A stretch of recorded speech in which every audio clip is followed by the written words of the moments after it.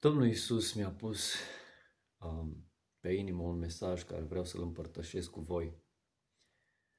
Ieri am vorbit cu o persoană ortodoxă care mi-a spus că a fost la mormântul lui Arsenie Boca și s-a închinat mormântului. Și am auzit uh, de mai multe cazuri în care ortodoxi și nu numai um, se închină mormintelor, morților. Dragii mei, vreau să vă aduc la cunoștință un lucru care este scris în Scripturi și vreau să vă las pe voi să judecați și să alegeți cum credeți voi. Deși știu că îmi pun pielea la bătaie uh, făcând acest lucru pentru că a încercat să ajuți pe un ortodox sau chiar și pe un baptist sau adventist sau penticostal, catolic uh, și așa mai departe, ca și când um, ai încercat să ajuți un stelist să, să devină dinamovist sau un rapidist să devină dinamovist. Este exact același lucru. De fapt, nu doar faptul de a te închina unui mormânt este idolatrie. Idolatrie este și a urma o religie anume. Pentru că oamenii um, consideră poruncile altor oameni um, literă de lege în viața lor și sunt dispuși să devină agresivi, sunt dispuși să comită fără de lege înaintea Domnului Isus, ca să să păzească acele porunci omenești. Însă când vine vorba de poruncile Domnului Isus, uh, habar n-avem nici măcar care sunt. Dacă întreb pe majoritatea ortodoxilor și nu numai, nu știu care sunt, ăsta e adevărul. Dar anul trecut a venit un ortodox la mine de pași și mi-a zis Hristos a înviat. Și l-am întrebat simplu, frumos, dar de ce zici Hristos a înviat?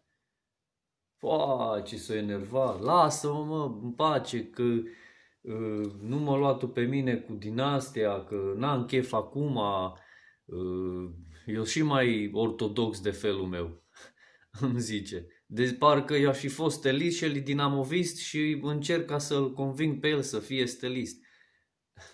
Asta este situația și cunosc situația cu majoritatea ortodoxilor, este foarte clară, nu are niciun rost ca să mai... Dar totuși pentru acei puțini care, pe care interesează adevărul mai degrabă decât uh, o religie sau știu eu ce. Domnul Iisus nu ne-a spus să fim ortodoxi sau catolici sau baptiști, sau, dar ne-a dat, niște, ne-a dat niște porunci clare. Dacă nu trăim după ele cu niciun chip, nu vom intra în împărăția lui Dumnezeu. Poți să fii cel mai mare ortodox din lume nu are absolut nicio valoare înaintea Domnului Isus. Care este prima și cea mai importantă poruncă? Prima și cea mai importantă poruncă este să-L iubești pe Dumnezeu, să te închini numai Lui. Punct. Idolatrie poți ca să faci și dintr-un om viu. Poate să fie idolul tău. Idolatrie poți să faci din mașina ta, din frumusețea ta. Um, exemplu biblic care vreau ca să vi-l dau și vă las pe voi să judecați.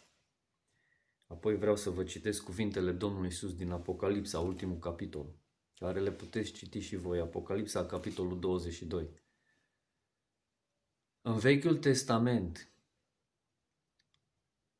Știm majoritatea dintre noi că Moise a eliberat pe poporul uh, evreu de sub robia Egiptului.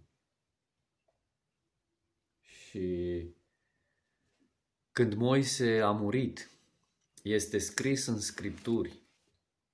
Puteți cerceta, puteți căuta că Dumnezeu însuși i-a luat trupul și l-a îngropat. Fără ca Israel poporul Israel să știe unde. Nu ne dă o explicație și nu ne spune de ce Dumnezeu a făcut lucrul ăsta. În Noul Testament este scris că Satana s-a luptat cu arhanghelul Mihail pentru trupul lui Moise. Vă las pe voi să judecați de ce s-au întâmplat lucrurile astea. Și acum vreau să vă citesc Apocalipsa, capitolul 22, începând cu versetul 12. Și iată, eu vin curând și răsplata mea este cu mine să dau fiecăruia, așa cum va fi lucrarea lui. Eu sunt Alfa și Omega, începutul și sfârșitul, primul și ultimul. Binecuvântați sunt cei care fac poruncile lui, ca ei să aibă dreptul la pomul vieții și să intre pe porți în cetate. Dar afară sunt câinii și vrăjitorii și curvarii și ucigașii și idolatrii și oricine iubește și înfăptuiește minciuna. Eu, Isus, am trimis îngerul meu să vă mărturisească aceste lucruri în biserici. Fie ca Domnul Isus Hristos să vă binecuvinteze.